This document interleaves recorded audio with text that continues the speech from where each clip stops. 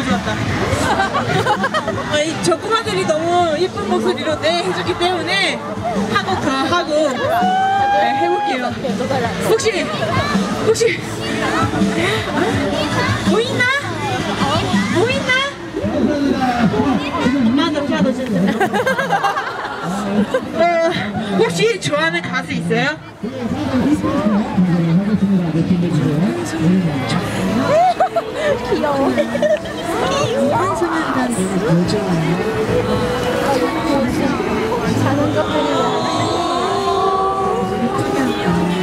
그러면 저희 것들을 위한씩 보여줄게요. 혹시 방탄소년단 누구 좋아해요? 귀야. 나는요? 지민이야.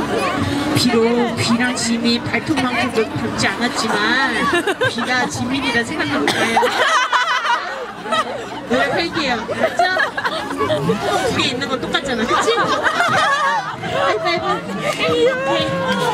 자, 귀다 지민이다 봐요. 자, 콧구멍만 닮은 비령 집이 갑니다. 네. 자, 콧구멍 최대한 크게 해주세요.